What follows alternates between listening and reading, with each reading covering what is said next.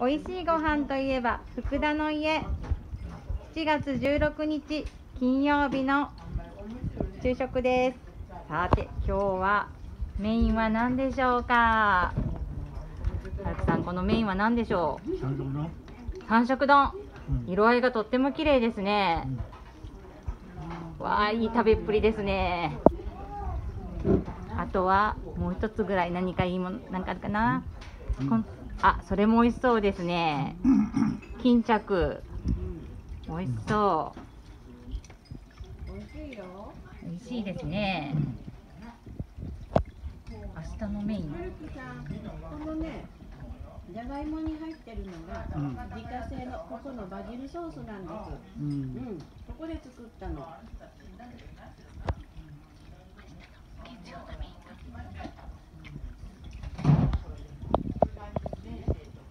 はるきさん、はい。自家製のバジルソースかかってるうん。小吹き芋なのかな？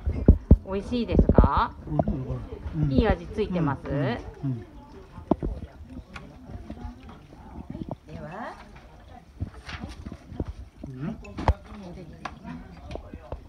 では。月来週の月曜日はのメインはおでんです。夏におでん。美味しいですね。楽しみじゃあ皆さん楽しみにしておいてくださいねじゃあ福田の家では毎日お昼ご飯を配信中です見てください。見てください